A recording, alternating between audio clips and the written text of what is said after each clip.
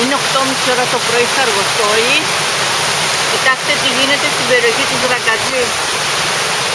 Ξανά δεν μπορώ να πλησιάσω περισσότερο. Πραγματικά πρόκειται για ένα ποτάμι εδώ στη γειτονιά μας. Κυριολεκτικά δηλαδή δεν μπορεί να συγκρατηθεί με τίποτε. δεν ξέρω τι βλέπετε, είναι 8.30 ώρα το πρωί και όμως τα αυτοκίνητα πάνε με τα φώτα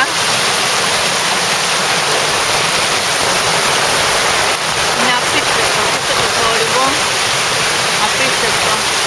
Δεν μπορώ να πλησιάσω περισσότερο. Δεν μπορώ να περάσω δηλαδή από ένα πεζοδρόμιο απέναντι στο άλλο, εδώ στη γειτονιά μου, στη Ραγκατζή. Απίστευτη καταιγίδα, απίστευτη κακοκαιρία, ευτυχώς που δεν βρέχει. Ε, συγγνώμη, ευτυχώς που δεν φυσάει. Ευτυχώς δεν φυσάει. Οι αστραπές βροντές είναι το κάτι άλλο.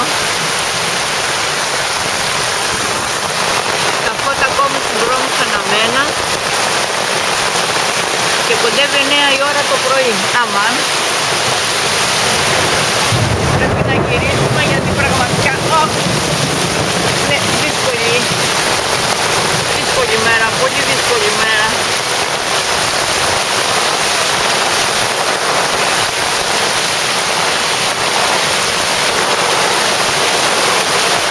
Είναι απίστευτη καταιγίδα που έρχεται συνεχίζει